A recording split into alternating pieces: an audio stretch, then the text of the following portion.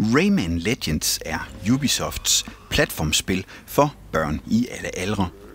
Det er fyldt med masser af spændende figurer, både i form af venner og fjender. Det hele er tilsat varierede farver over fem forskellige temaverdener med en lydside og musik, der matcher perfekt. Det er utroligt vanskeligt at forklare, så se med i videoklippet.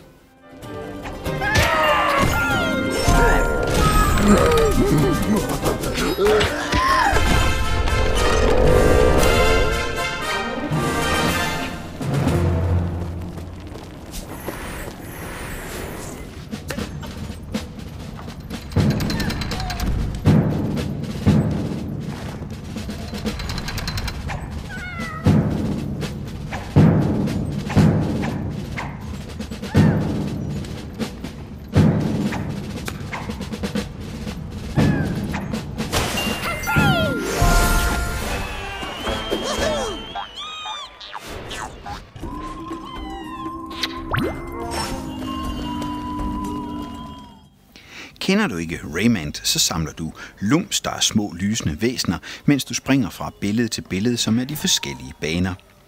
Denne gang har vores held og hans lækre sidekicks sovet i 100 år, faktisk lige siden Origins, så nu har Marits uhyrene igen fundet vej til alle afgrove. Så er det ellers bare om at komme i gang med at redde Tensier.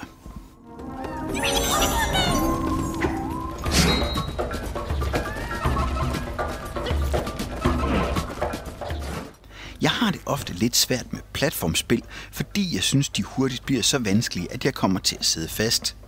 Her har Ubisoft sikret, at du kan komme igennem næsten hver eneste bane, stort set første gang du prøver. Der er rigtig gode checkpunkter, så det bliver en fornøjelse at finde løsningen på en opgave. Der er masser af genspilsværdi, for hver eneste bane er smukt detaljeret, hvor der snedigt er gemt forskellige ting – du skal bruge al din snille for at få fat i dimsen, uden at sværhedsgraden er skruet op til umulig. Svært, men fair. Nå ja, og så er det hele på dansk. Drømmenes lysning er i fare, min ven. Løb! Skynd dig at vække vores legendariske helte. Du låser også op for baner, der tidligere har været en del af Rayman Origins, og dermed bliver spillet næsten dobbelt så stort. Der er masser af udfordringer og minispil som Kung Fu, der er meget mere underholdende, end hvad man skulle tro ved første øjekast.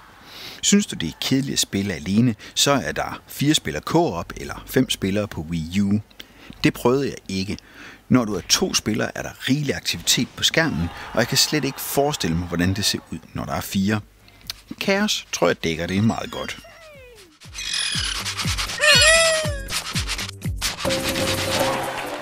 Rayman Legends er en perle af et spil fra Ubisoft Montpellier. De har på en eller anden mærkelig måde taget Origins og gjort det endnu bedre. Der er ikke anden mulighed end at kvittere med en topkarakter. Rigtig god fornøjelse.